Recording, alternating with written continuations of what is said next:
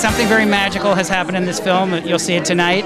Um, our, we maintain that it's really the source that has made this film, not us as individuals, because we really do have 112 people speaking as one voice with one message. They're that strong, that powerful, from people who have near-death experiences to people have wisdom and wise, to uh, got people from the spiritual. It's just the interesting 12 categories of what makes the world tick, according to the people that have made it tick. And that's the difference. Other people have these movies say, here's what you got to do, you got to do this, you got to click your heels three times, and you know, this ain't it. This is this is what I've done. Now, what you, what you want? This is what I did. Uh, it was so easy or, or kind of seamless to do this score because of all the wonderful people in the the movie, you know, and there was just so much energy that that all the themes just came through us. You know, it was just it was awesome. So it was very fertile yeah. ground, fertile ground visually, and also the content made it very very easy for us to to uh, to create this this music for it. So it's a proud moment. I was interviewed in the film for my work that I do with pro athletes. I'm a mental performance coach. And uh, a lot of the work I do is everything this movie is about. I actually have been tapping the source in my own way for so many years that it was wonderful to be interviewed and to begin to describe the way of tapping in to help others to do it. I think this is going to be quite good because the, the subject matter is something we all need at this point.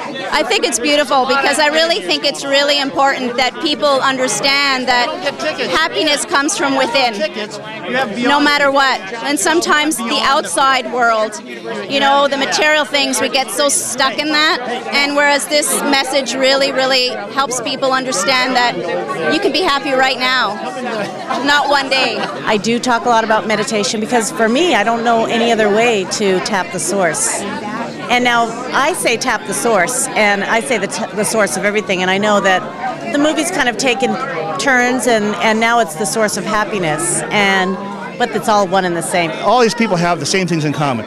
Everybody, everyone, every one of them goes into the source. Meditation. Every single one of these people come back in and talk about listening. My dad used to be an old uh, ham operator. I said, Dad, they had microphones with switches on them. If you hold the button down, you can't hear anything let the button up and listen and then make some action. Scientists have now done, there are, there are processes where they can actually measure heart energy that is coming from the body. It's actually something that can be photographed and actually measured with machines at this point. So it's more real than just some esoteric thought that we think of.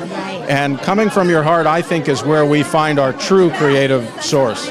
In our tradition, in our culture, meditation has been really sort of uh, ignored. I mean, it's definitely becoming more mainstream now with the advent of this movie and Eat, Pray, Love and some others, but basically it's just been so ignored for so long and it's just so subtle and powerful.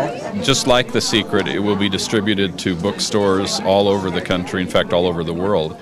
And then it'll be available also for uh, streaming and download. There's so much in it. Um, you need to look at it four, five, six, eight, ten times. And then you hand it to your son, your, your mother, your daughter, and they'll pass it forward and go, ah, oh, we can do this. Yeah, we can do this.